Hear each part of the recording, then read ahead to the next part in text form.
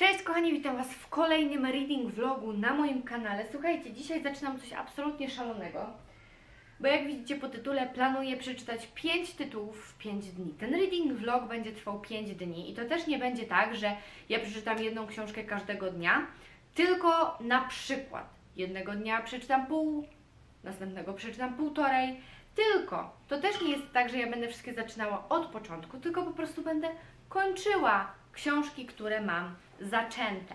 E, I teraz tak, książki, które będę miała w tym TBR, że to jest tak. E, Święto Ognia Jakuba Małeckiego. Tutaj jestem, słuchajcie, na stronie e, 104. Następnie Roxy, tutaj jestem na stronie 50, więc tutaj najwięcej będę miała do nadrabiania. Dalej, Łuk Triumfalny, tutaj jestem, słuchajcie, na stronie 339. Baśniobór tą czwarty, tu jestem na 239 stronie i ostatnią książką jest to Dziewczyna, która klaszcze, którą czytałam na wyjeździe właśnie mm, z dziewczynami e, i z Łukaszem i z e, panem Danielem.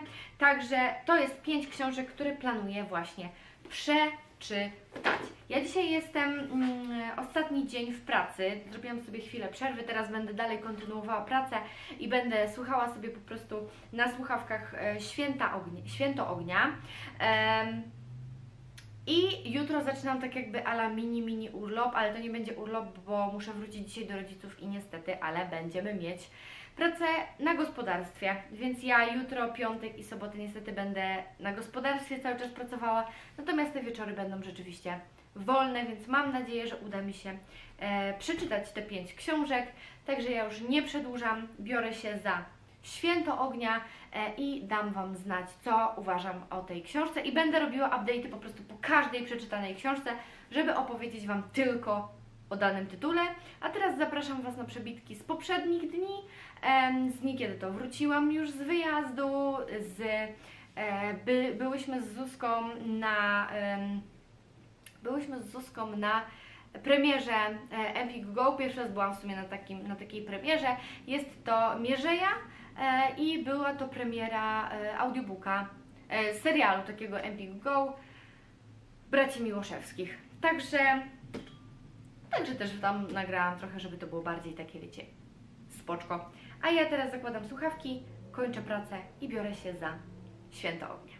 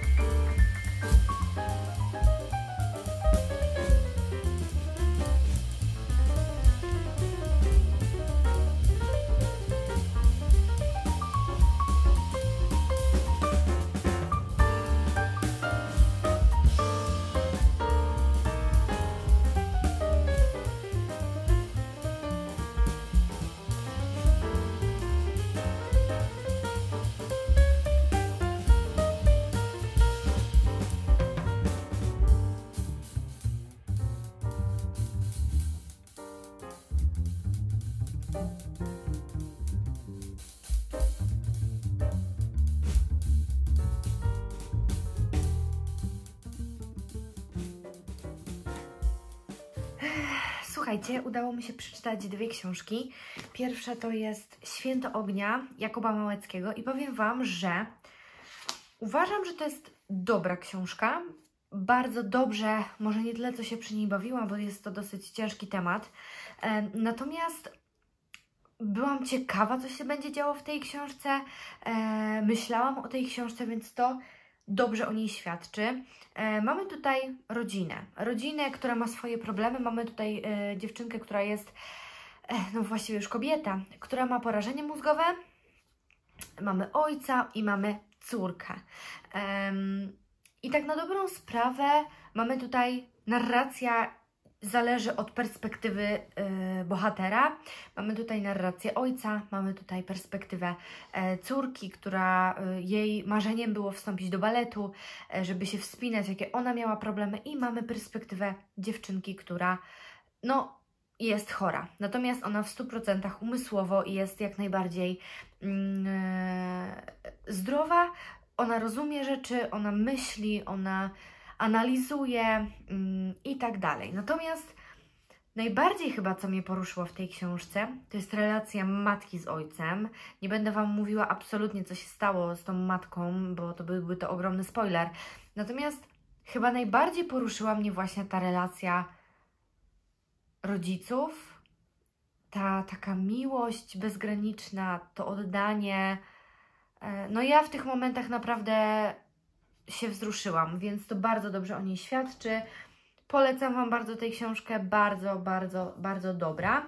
I drugą książką jest to książka Dziewczyna, która klaszcze. Tomka Kozioła. Jest to horror, horror, który dzieje się w domu. E, Adam nasz główny bohater mm, dowiaduje się, że dostaje w spadku dom.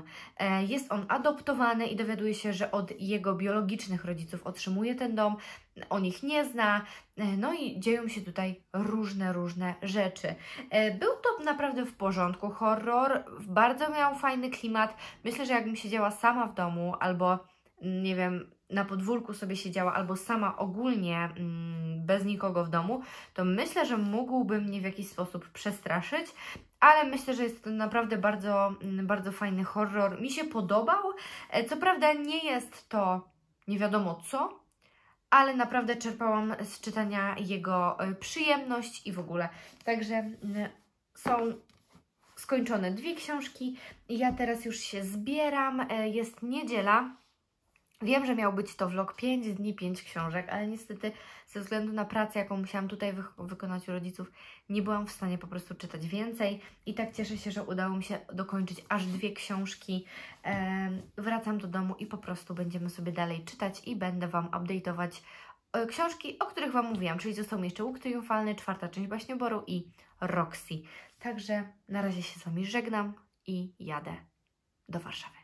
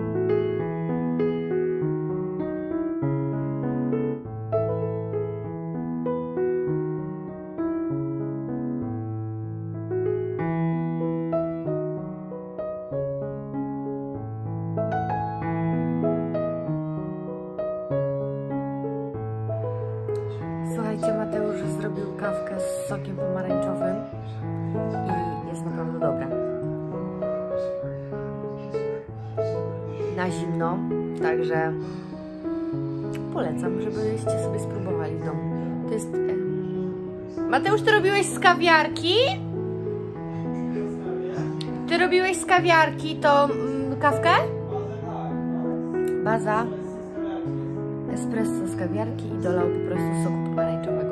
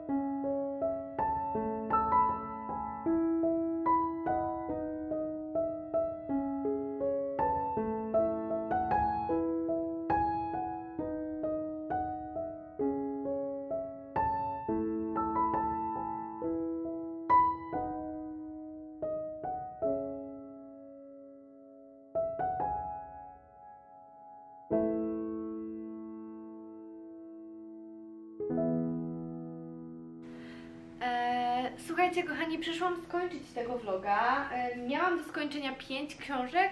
Udało mi się skończyć 4, więc naprawdę jestem z siebie bardzo, bardzo zadowolona. E, tak jak Wam wspominałam, skończyłam Święto Ognia oraz e, Dziewczynę, która klaszcze. Bardzo dwie po, dobre mm, pozycje, więc ja Wam polecam. Święto Ognia bardziej mi się podobało na pewno niż Dziewczyna, która klaszcze, natomiast wydaje mi się, że Dziewczyna, która klaszcze będzie bardzo fajnym takim klimatem. E, wiecie, jak będziecie sobie e, siedzieć wieczorem na balkonie, będzie ciemno i wtedy myślę, że ten klimat bardzo fajnie wejdzie. E, I słuchajcie, następnie skończyłam czwarty tom Baśnioboru, nadal bardzo dobrze, nadal bardzo dobrze się bawiłam. Jeżeli jesteście zainteresowani, to macie audiobooki oczywiście do tego. Ja głównie przesłuchałam właśnie tej książki, natomiast uważam, że jest to świat, który naprawdę sprawia mi ogrom radości, świat, który którego żałuję, że nie czytałam jak byłam mniejsza jak zaczynałam bycie nastolatką, bo wydaje mi się, żebym absolutnie przepadła. Jak ja będę miała dzieci, to na pewno baśniobór e, będzie w ich dłoniach i będzie, e, będą na pewno czytać. Dodatkowo ilustracje, które są w środku, są absolutnie przepiękne więc też robią ogromny klimat książki. Także naprawdę ja Wam bardzo polecam. Cały baśniobór jest od 9 roku życia, także jeżeli szukacie czegoś dla swoich dzieci na przykład, albo dla stryja, ciotki, wujka, kuzynów, e, to myślę, że Baśniobór będzie bardzo dobrym wyborem. E, Baśniobór to jest 5 części i później po Baśnioborze jest Smocza Straż, która również ma 5 części i na pewno jak skończę Baśniobór, to biorę się za smoczą straż, bo tak, bohaterowie podobno ci sami, wszystko jest to samo, no niby to samo, ale jednak nie. I słuchajcie, ostatnią książką, którą skończyłam jest to Łuk Triumfalny Remarka. E, ja już e, dyskutowałam na jej temat z Zuzką. E, jak wiecie, to jest jedna z ulubionych książek Zuzki, dlatego też po nią sięgnęłam. Natomiast na mnie nie zrobiła aż takiego chyba wrażenia jak na niej. E, dla mnie to była bardzo dobra książka, bardzo doceniam jej kunszt, e, przepięknie jest napisana, bardzo dobrze mi się czytało tę książkę, bardzo dobre opisy, gdzie moja wyobraźnia po prostu szalała. Natomiast sama relacja naszej dwójki jest strasznie i taka toksyczna i taka nijaka dla mnie. W sensie mnie bardzo irytowała ta relacja. To było takie dużo niedopowiedzeń, dużo niedomówień. Ja nie odnajdywałam siebie w tym, w tej książce. E, tak jak mówię, to nadal jest książka pięciogwiazdkowa, natomiast ona nie sprawiła mi, to nie jest te, te same pięć gwiazdek na przykład co traktat o łuskaniu e, fasoli. To nie jest ta sama półka. Traktat o łuskaniu fasoli jednak będzie dla mnie czymś absolutnie jednym z największych tytułów w moim życiu. Natomiast tutaj, tak jak mówię, to była bardzo dobra książka, ale to nie jest moja książka. Ja Wam jak najbardziej polecam. Uważam, że każdy powinien się zapoznać z Remarkiem i każdy powinien przeczytać chociaż jedną jego książkę. Ja planuję przeczytać kolejne oczywiście książki tego autora, bo ja to nie było tak, że ja się zawiodłam, bo ja podchodząc do tej książki miałam całkowicie czysty umysł. Ja nie nastawiałam się na to, że to będzie mój top of the top. Ja na, nie nastawiałam się też do tego, że mi się nie spodoba. E, I tak też proponuję podchodzić Wam do tej książki, że to jest jednak książka, która niektórzy w niej odnajdą siebie całkowicie i będzie to ich najlepsza książka ever, a niektórzy, tak jak ja, stwierdzą, że to jest rzeczywiście dzieło, natomiast nie odnajdą e, siebie w tej książce. Także bardzo Wam polecam, bardzo dobry klimat. E, nadal ja dałam jej 4,75 na Goodreads, ale zaznaczyłam 5 gwiazdek, no bo e, ciężko tutaj e, inaczej to wyśrodkować. Ja nadal i ciągle będę Wam polecała, będę na pewno czytała dalsze książki tego autora. Także tak. Bardzo się cieszę, słuchajcie, że udało mi się przeczytać aż cztery książki w tym reading vlogu, bo szczerze Wam powiem, że e, jak wracałam od rodziców w niedzielę, to byłam pewna, że mi się nie uda przeczytać, e, dokończyć aż tylu tytułów, więc jestem z siebie mega, mega dumna. E, a słuchajcie, zaczęłam od razu też dwie książki e, i są to mm, Dewocje Anny Ciarkowskiej. Jest to taka spowiedź zakonnicy, jest to monolog na, na, na tym e, etapie, na którym ja jestem. Jest to po prostu monolog i mamy tutaj rozmyślanie zakonnicy niejako na temat religii, na temat świata. Natomiast nie jest to y, katolicka mm, książka, co to to nie. Tutaj są poruszane właśnie problemy, czasami rzeczy, które dla nas w tych czasach, w sensie, no bo to jest książka nowa, to nie jest e, książka, która była pisana kiedyś, kiedyś, kiedyś, ale ja mam wrażenie, że ta zakonnica, która opowiada o sytuacjach, które dla niej były normalne, myślę, że w tych sa- czasach są absolutnie niedozwolone i jeżeli ktoś zgadza się na takie traktowanie i na takie życie, no to słabo. Jestem na samym począteczku, bo skończyłam pierwszy rozdział i będę na pewno dalej kontynuowała, bo strasznie zaintrygowała mnie ta książka. Jeżeli chcecie, to też jest audiobook na Empik Go. E, No i słuchajcie, druga książka Sylwia Plath, Szklany Klosz. Tutaj jestem na stronie 64, już mam trzy znaczniki. Natomiast stwierdziłam, że tutaj nie będę zaznaczała cytatów, które po prostu są nie wiadomo jak uniosłe, tylko będę zaznaczała e, przemyślenia, z którymi ja się zgadzam i które ja mam bardzo często. Już mam trzy znaczniki, co mnie troszkę martwi. Natomiast no na razie ten początek e, jest dosyć łagodny, na razie jakoś tam bardzo super się nie dzieje tutaj, natomiast mm, jestem pełna obaw tej książki, bo jak wiecie Sylwia Plath po, po, po publikacji tej książki miesiąc później popełniła samobójstwo i jest to tak jakby historia autobiograficzna, co no na pewno będzie dla mnie dużym przeżyciem. E, mam też dzienniki, Wam pokażę od razu. Mam też dzienniki, które również planuję przeczytać, ale najpierw na pewno zapoznam się z oczywiście z, ze szklanym kloszem. E, to jest cegła. Druga sprawa, ta czcionka jest po prostu maczkiem. Natomiast ja będę ją sobie dawkować, będę ją, e, będę te dzienniki czytała po troszeczku, po malutku, bo myślę, że moja psychika nie będzie w stanie aż tyle unieść. E, także tak, słuchajcie, nagadałam się, Jezu. E, ja Wam bardzo serdecznie dziękuję za oglądanie. Mm, no i tyle. Widzimy się już w kolejnym filmie. Cześć!